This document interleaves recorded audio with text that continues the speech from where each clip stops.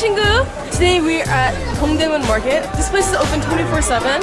Uh, it's a big place, so parts of it is open at nighttime. Other parts is open just during the daytime. So whether you're a morning person or a night person, this place is for you anytime. While some stores are clo- closed on Sundays, other vendors will open up. They sell a bunch of random stuff. They sell clothes, they sell jackets, dishwashing products, lights and stockings and Hello Kitty backpacks. So we found some panties that have a zipper on it. 이모, 이거 열어보세요. 네. 이거 안에다 뭐 넣는 거겠지 뭐. 뭐 집어넣어 거기 안에?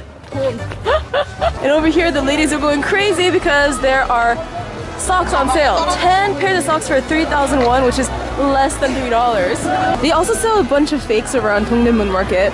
Uh, you know, this is the famous gorilla of the Ki- Kipling. And here are piles of shoes.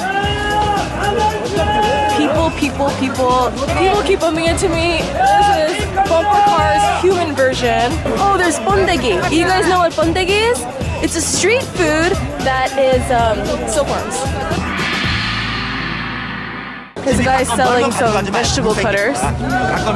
So like anywhere else you go in the world, uh, depending on what time of the day and the day itself, you'll have a different experience. Here's some more street food, hats, more jackets, winter wear. The positive thing about uh, coming here during the winter is everyone's wearing puffy jackets, so even if they hit you, it's not gonna be, you know, you're not gonna get a bruise because everyone will bump into each other. My aunt is looking at some sweaters.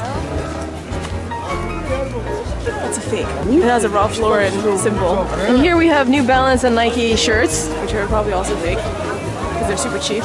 Super cheap, too cheap. We have belts, more jackets.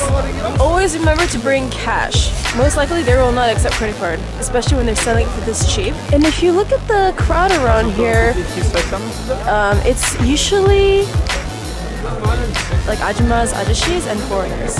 And we have more street food, hot dog, more piles of clothes, bags, clothes. Be prepared to feel like a punching bag because even if there's like plenty of space, people will find a way to bump into you. So you came to a more deserted street, uh, enjoying my bubble for now. There's this uh, one store called By B, and it totally looks like boobs. It's a boob that's smiling. It's cool. They hung up all the clothes right there. Uh, they stick it on the fence. Here you can get noodles. We have more clothes, piles of clothes on the streets. Bunch of people covering them because they're going crazy over the sales. My aunt's currently picking out two pins for 500 which is 501. Like USD is less than 50 cents. So usually when the vendors set up their store on the streets, it's cheap. You could go into the bigger shopping mall buildings and they tend to be in the more expensive side uh, you know, your usual department store prices. So right next to Dongdaemun Market is Cheonggyecheon. This used to be a dump, but it was revitalized. And during the summer and spring, it gets all nice and green and um, all the vegetation is blooming. My aunt was telling me that some areas in Dongdaemun, they sell a lot of socks, and other areas, they tend to sell more shoes. So we have indoor and outdoor parts of this market. Shoes, shoes, and more shoes. So while in Hongdae, uh, there's a lot of young female fashion. In Dongdaemun Market, there's a wide variety of styles. These ones are really cute. Uh, you know, the first place in Dongdaemun Market we went to, it was like super cheap, super like not as good quality, but uh, some areas they do have better quality products. This main street, a lot of the stores are open, but here, because it's Sunday, they're closed. So what's the difference between Namdaemun Market and Dongdaemun Market? Uh, what the locals have been telling me is that Namdaemun Market is not as big and not as diverse in their products. And Dongdaemun also has been doing a lot of remodeling, so there's new buildings. Burger set.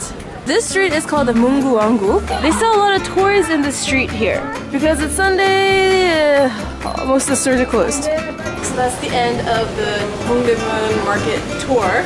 Uh, I would say it's not exactly my cup of tea to place to go shopping, but it's definitely a place to come once if you're a tourist. Uh, I'll see you guys in the next episode of KWOW. 안녕!